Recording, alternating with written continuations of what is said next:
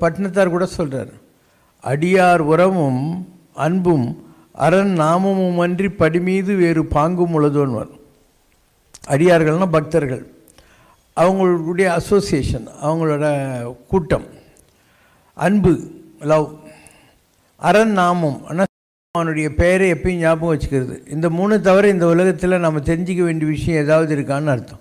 அதில் அடியார் உறவு வருது. ஏன்னா அடியார் உறவுங்கிறது ஒரு சத்சங்கிகள்னால் யார்? Like minded fellow travellers towards காட்னு அர்த்தம். அப்போ சத்சங்கத்தில் நிசங்கத்தம் நிசங்கத்தில் நிர்மோகத்துவம் நிர்மோகத்தில் நிர்மல தத்துவம் நிர்மல தத்துவத்தில் ஜீவன் முக்திங்கிறது டெரிவேஷன் அப்போ சத்சங்கம்னா என்ன? நல்ல கருத்துக்கள் எல்லாம் கேட்குற போது நம்முடைய மனதில் இருக்கிற குழப்பங்கள் நிசங்கங்கள் எல்லாம் போகுது. அப்படி வர்ற போது நிர்மோகத்துவம் ஆனால் பொருள்கள் மேலே இருக்கிற ஆசையெல்லாம் குறைஞ்சிக்கிட்டே போகுது. அந்த மாதிரி குறைய குறைய ஒரு தெளிவான சிந்தனைகள் நிர்மல தத்துவம் வருது. அந்த நிர்மல தத்துவம் வந்ததுனால நாம் ஜீவன் முக்திக்கான பாதையில் சரியாக நடைபோடுவோம்னு அர்த்தம். ஸோ எல்லாத்துக்கும் பேசிக்காக என்னென்னா நம்மள மாதிரி பக்தர்களாக இருக்கிறவங்க ஒன்றா இருக்கணும். நீங்கள் இதே ஒரு ராங் கம்பெனியில் இருந்தீங்கன்னா அவங்களாம் சேர்ந்து உங்களை கெடுத்துருவாங்க.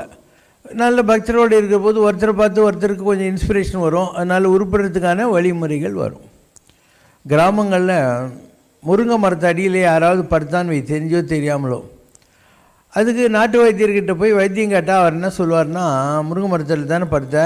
இன்னும் ஒரு நாலு மாதத்துக்கு ஆறு மாதத்துக்கு வேப்ப மரத்தடியில் படுத்துக்கோன்னு வரும் அப்போ ராங் பீப்புள்கிட்ட யார் வந்து சகவாசம் வச்சுருந்தாங்களோ அதுலேருந்து அவங்க வெளியே வந்து உருப்படுறதுக்கு ஒரே வழி முருங்கை மரத்தை விட்டுவிட்டு ஏன்னா அதில் கே நச்சு காற்று இருக்குது வேப்ப மரத்துக்கு வரணும். அதில் நல்ல காற்று இருக்குது அதனால் நல்லவங்களுடைய கம்பெனிக்கு வந்துடுறது கெட்டவங்க கம்பெனி விட்டுருது தட்ஸ் ஆல்